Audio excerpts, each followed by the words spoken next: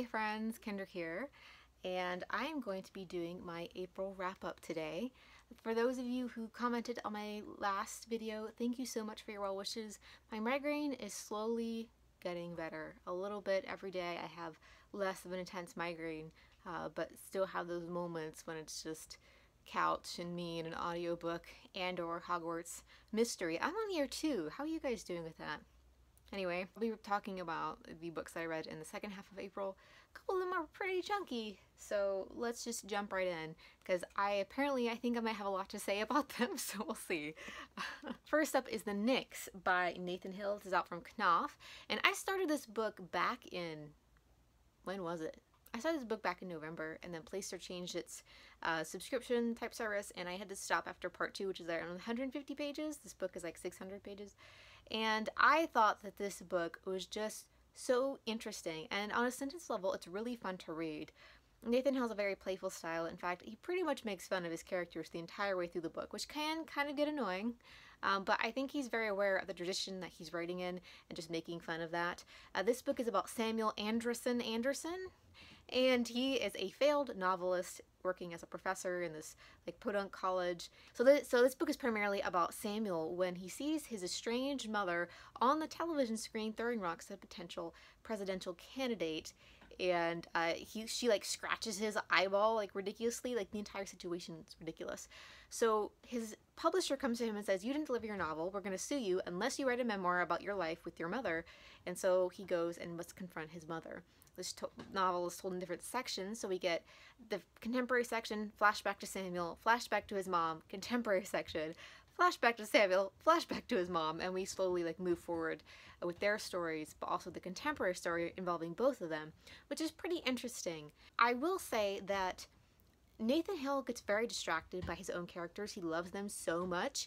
He writes large swaths about secondary characters. But I have seen someone review this, but so they quoted something from the book, and it was something along the lines of that moment when you realize that you're not the protagonist, you're a secondary character in someone else's story.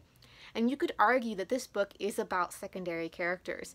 You have Samuel, who is pretty much a secondary character in his mother's story, and in these other people's stories that of things that happen to them that we learn about. There's also secondary characters to Samuel, such as one of his students who feels that he she he has harmed her emotional state, and uh, Nathan Hill really gets into the voice of that character and how ridiculous she is.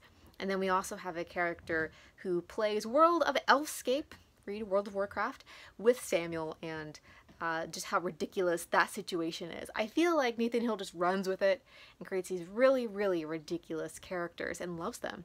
But they have no part in the overall plot of the book. They're not really needed. And so I feel like he just got a little carried away with many of his characters and how much he loved talking about them. Also, even though I loved many parts of this book and many of the parts individually, I'm not sure they all work together as well as I would have liked. Sometimes I felt like they just weren't tied together tightly enough to create as tight of a novel as I would have liked. That might also have to do with like again the bloated writing with the, you know, characters. I felt he was doing one giant character sketch and just got a little carried away. But overall I did enjoy this book. Um, I listened to the audiobook. I would say the narrator really emphasizes the whole ridiculous part of the tone. So maybe not pick that audiobook, but um, it was okay. But the book itself is good. I will pick up whatever Nathan Hill writes because I think he's fun. Hopefully it will be shorter. That's my only request. the next book I'm going to talk about is The Recovering by Leslie Jamison, and this is out from Little Brown. And I mentioned in my haul video that Leslie Jamison and I have a tumultuous relationship.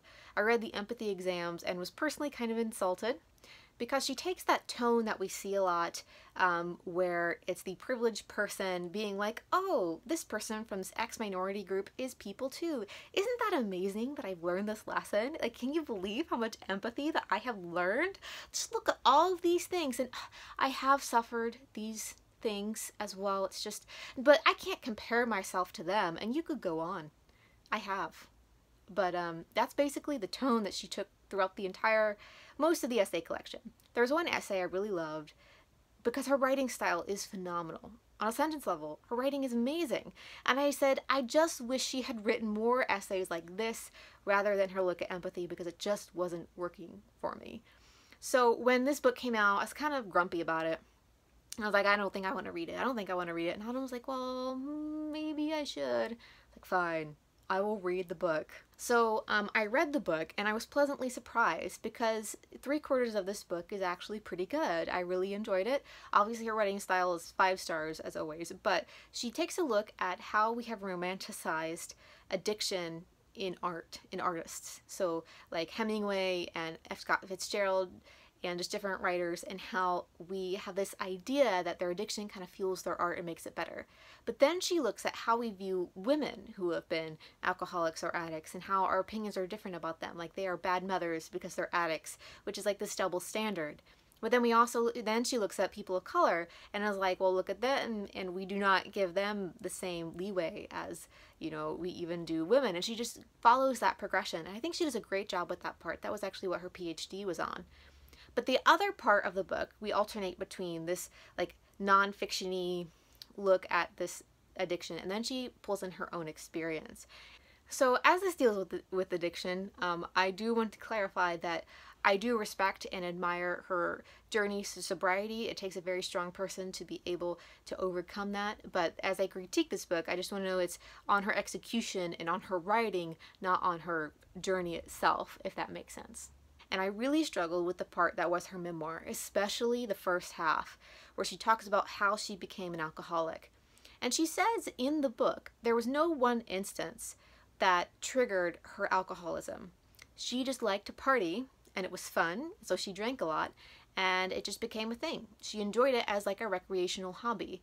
And she would as well use it when she was sad or depressed, but in a very unhealthy way, but not because of a particular instance, but because whatever was going on in her life. Like we all do. We all have find ways that we cope with just general life stress, and that was hers because she also enjoyed alcohol. And she just found herself kind of addicted to alcohol. because I feel like she didn't talk about how people who do suffer traumatic events and that fuels their addiction, that they also have to deal with that emotional trauma to also help themselves reach sobriety. And I feel like she just didn't talk about that enough or explore that idea uh, in this idea of addiction.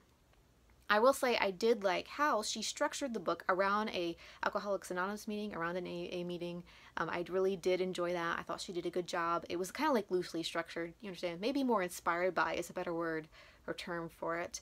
I did enjoy that, and the way she wrote about AA I thought was really good.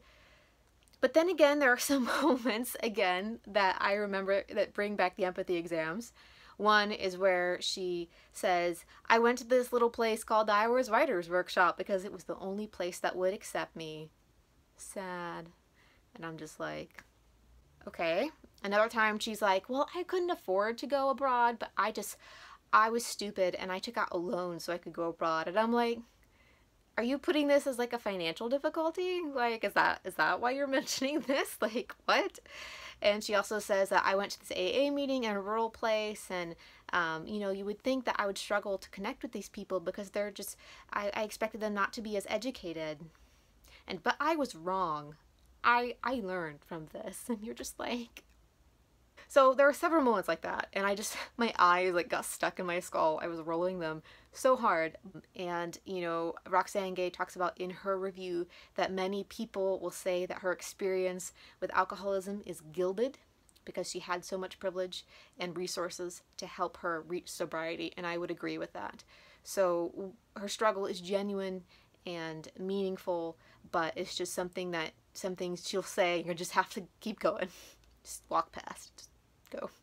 Um, but most of this I really did enjoy. The structure is a hot mess. It is too long. It need to be cut like 50 pages at minimum, but it's I think it's worth the read, especially if you're interested in the topic of addiction. There's nothing that I have read that really looks at it in context of how we view addiction as a culture, especially in regard to artists and writing. So that is yeah, again, that part alone is really well done. And you could, in theory, skip around and just read those parts if you really disliked her memoir section. So um, it is an interesting read and it's definitely thought provoking. But um, again, much eye rolling. So I had a lot to say about those first two books. I don't think I have as much to say about these next books. So there are a few left. So first we have Meaty by Samantha Irby. Uh, this is I listened to on audiobook and I really enjoyed uh, We Are Never Meeting in Real Life. Samantha Irby is just so incredibly amazing. And this book was her first essay collection that's being reissued by Vintage. And it's about her life as a single 30 something woman who's trying to make her way in the world. And she talks a little bit more about this in We Are Never Meeting Real Life, but um, she talks some about how she's living on her own and how she's had to live on her own from a very young age and how this has affected her life and how she views her finances and different things. Um, but the primary thing I enjoyed about this book is her discussion of Crohn's disease. As someone who also has a form of inflammatory bowel disease, I relate to this hands down. I have been there. Not quite there, I would just clarify, but I definitely relate to some of her struggles. So I just I just love this book and I think she did such a great job with this book. And she talked a little bit about this in an interview I saw about how she wanted to clean up the essays more and how she's like, I can't believe I wrote this or shared this X thing about myself or my body or whatever. Um, but it really creates a very funny book, but also a very meaningful book. And there's a lot of uh, real things here about chronic disease that I wish more people knew. And I was thinking about this the other day is that it's very difficult to describe how difficult living with a chronic disease is. So I feel like Samantha Irby's combination of humor makes it more palatable for people who have no uh, nothing to compare this to and that they are able to understand a little bit more about chronic disease. It's sort of like sugar uh, sugar makes the medicine go down kind of thing. I think. The next book is Rainbirds by Clarissa Goenawan, and this is a book by an Indonesian-born Singaporean writer, but this is written from people who have read more Japanese fiction than me. I think, I'm not even sure if I've read any Japanese fiction. Man, I need to get on that. Anyway, uh, I've been told that this is written, this tradition is a more Japanese tradition. Jung Yoon uh, talked about that in her review, I think in the LA Times book review or something. I can't remember. I'll find if I can find it. I'll link it down below. But also Sumaya um, over on Bookstagram was talking about how she thought it reminded her of Murakami, who's her favorite writer. So I was really excited to read this. And this is a combination mystery grief memoir. Ren, a sister, uh, has been killed uh, murdered in a small town outside of Tokyo. So he travels there to, you know, wrap up her affairs because her parent, their parents are estranged from her, and so he's left to him to go and solve all these things. So he's trying to figure out why she died, who murdered her, why no one's investigating this thing, and he's learning that he may not have known his sister as well as he thought he did. So I actually picked this book as one of our books for May. So if you want to learn more about this book, I will link the episode of Reading Women down below. You can go check it out. And this is out from Soho Press, and they do a great job with their books. So the next book I want to talk about is West by Carys Davies, and this is out from Scribner. And this is about a man around the 1700s whose wife has recently died, and then he sees this article in a newspaper about these bones they found in Kentucky. So he decides to leave Pennsylvania and go out west to try to find these behemoths, or dinosaurs, out west, which he believes live there. And by doing so, though, he leaves his daughter behind and there's this whole theme there about him trying to go find monsters and the monsters were at home in his own culture all along. And we know that he's part, part of this is him trying to deal with his grief. And part of this is um, him trying to make something of his life. That there's one line in the book that has really stuck with me. And while he's out on his adventure, he says, You had so many ways of deciding which way to live your life, and made his head spin to think of them. It hurt his heart to think that he had decided the wrong way. And there's a lot of themes in this book about our decisions that we make in our life and how one decision can change the entire course of our life and how we would deal if we made the wrong decision. And I feel like there's just so much in this book it's very well done and there's a lot of uh, rich writing in here and themes and context. There's a lot about uh, white settlers moving through and displacing the Native American population um, and how monstrous that was. There's a lot of themes of monsters and how the monsters are not where you think they are and I think that is very well done. I do have some questions uh, still. I would love to see uh, a Native American a person to read this book and their opinions on it. But as well, the other question I have after I read this book was there's this theme, this classic theme of the angel of the house and also the corruption of virtue that is in this book. So his daughter is back at home. She's a sweet, innocent looking creature and there are these men wanting to sexually violate her and they kind of stalk her. They don't kind of stalk her, they stalk her and it's really creepy because they're older and they're just waiting for her to reach sexual maturity before they pounce.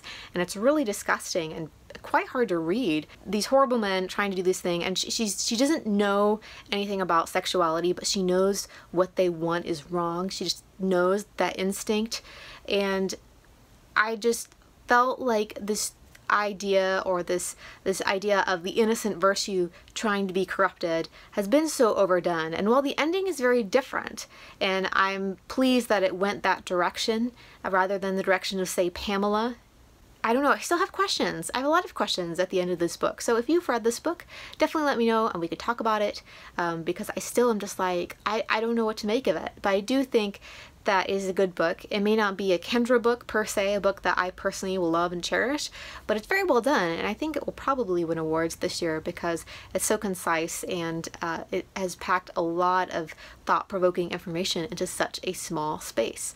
So yeah, we'll see we'll see what happens with this. I definitely probably should go check out some reviews, right? So those are all the books that I'm going to talk about right now. I think that's enough. Uh, um, I will be back later with more videos, but until then, if you have any thoughts on these books, definitely let me know down in the comments. And until next time, I'll see you guys later. Bye.